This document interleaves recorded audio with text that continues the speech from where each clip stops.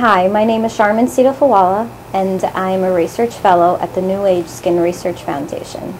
Today, I will be talking with Dr. Joshua Fox, who is the medical director and founder of Advanced Dermatology. He is also the president of the New Age Skin Research Foundation. Dr. Fox is a leading authority in the field of dermatology and is often cited in the media for his expertise. Today, I will be discussing the topic of melasma with Dr. Fox, and thank you so much for being here today with us. Thank you so much for asking me, Sean. Uh, melasma is currently a condition affecting many individuals, especially women with darker skin tones. And I was wondering if you could maybe, in medical terms, explain what melasma is and what it looks like. I'm so glad that you're discussing this most important topic that affects millions of Americans.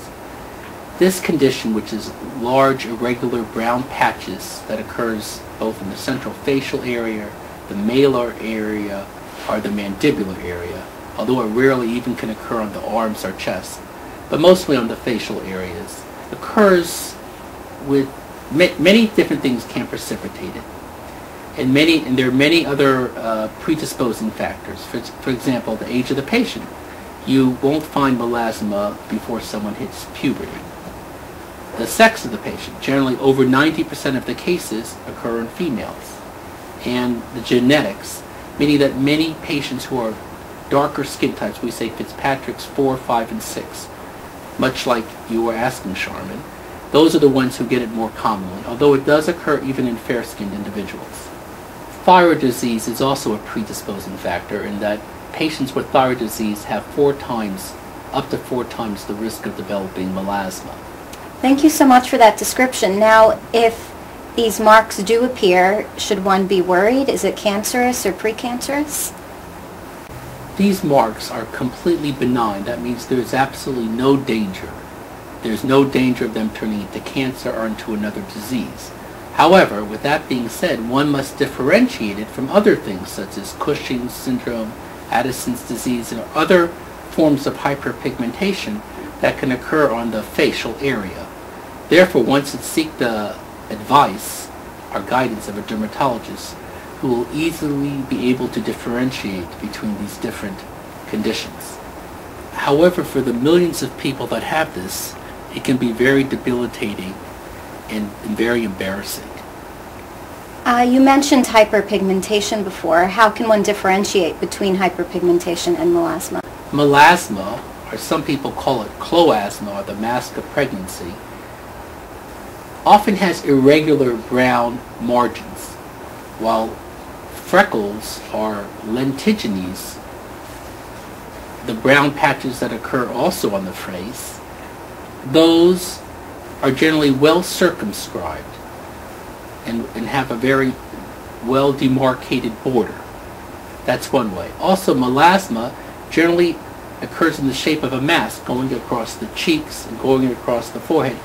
As you see in these various pictures that we're showing you here, here you see one on the forehead, here you see another example on the cheeks and on the chin although as I stated previously can also occur rarely even off the face. Being a person with darker skin tone, do I need to be worried about developing melasma? Basically what I'm trying to ask is what are the risk factors for developing this condition? Charmin, that's an excellent question. Unfortunately, there's no way at present to prevent getting the condition. However, there are several, many things you can do that once one has the condition to lessen the risk of getting it, such as staying out of the sun, because the sun precipitates it. Being less harsh with your skin. When one, when one were to dry the skin or clean the skin, being uh, irritating your skin a lot may precipitate it once one already has the condition. Uh, birth control pills, whether estrogen or progesterone, more commonly estrogen, is known to precipitate it, as well as other phototoxic medication and other, other medications that interact with the sun are also known to precipitate it. Therefore, one should also use sunscreen and with both UVA and UVB block. However, UVA seems to be the more important wavelength. Therefore, when one gets a sunscreen, one should be sure that there's the UVA block, which are the longer wavelengths of the light, will pre- help prevent or lessen the exacerbation of the melasma. Just one side point is that there's no harm in using makeup. Dr. Fox, is there any available treatment for melasma? There are treatments that are both over-the-counter as well as prescription.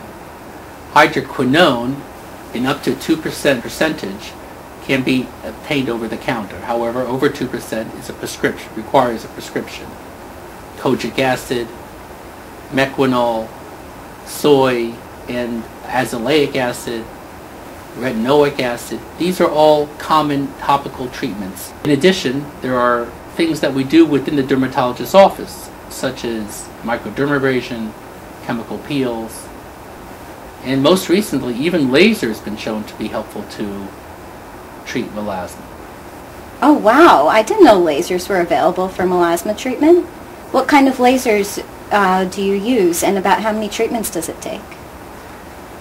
So far, there's only one laser which has been approved by the FDA for use in treating melasma, and that is Fraxel.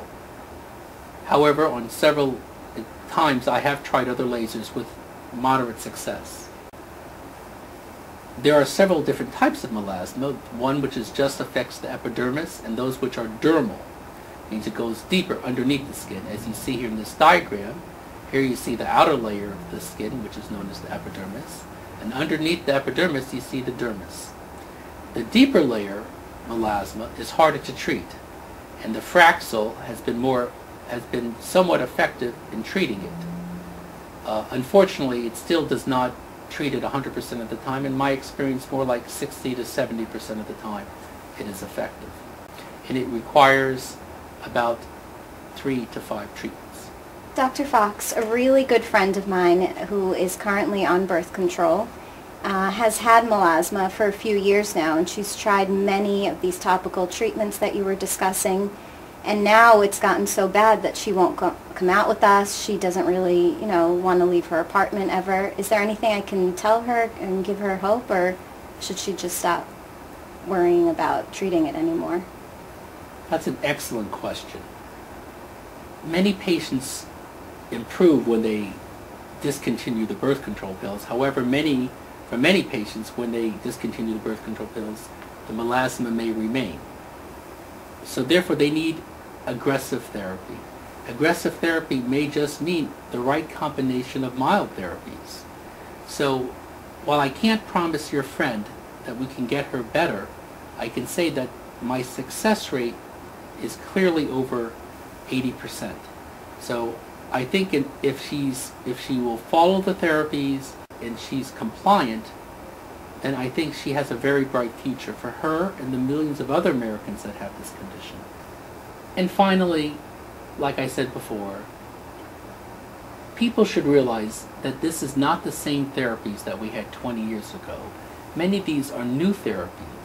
So they should have hope and they should go back to their dermatologist so that they can potentially achieve real help or cure for their melasma condition. And even if they're cured, to remember that they must still stay out of the sun as it may reoccur.